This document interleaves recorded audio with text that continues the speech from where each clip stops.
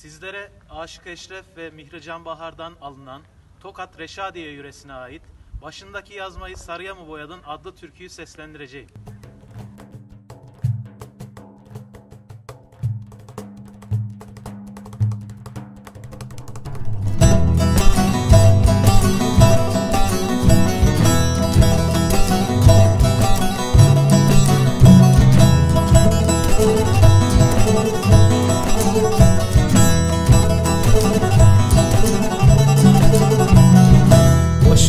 Başındaki yazmayı da sarıya mı boyadın?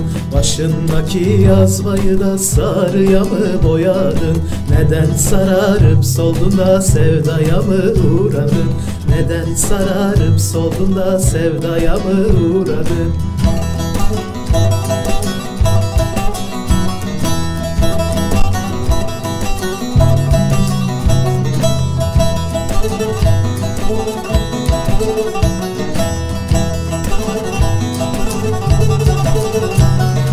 Tokattan mı geliyorsun da yar sen amuslu musun? Tokattan mı geliyorsun da yar sen amuslu musun? Ben seni alacağım da sen beni alır mısın?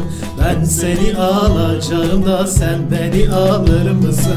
Ben seni alacağım da sen beni alır mısın? Ben türkümü söyledim. Sıra sende Reşadiye.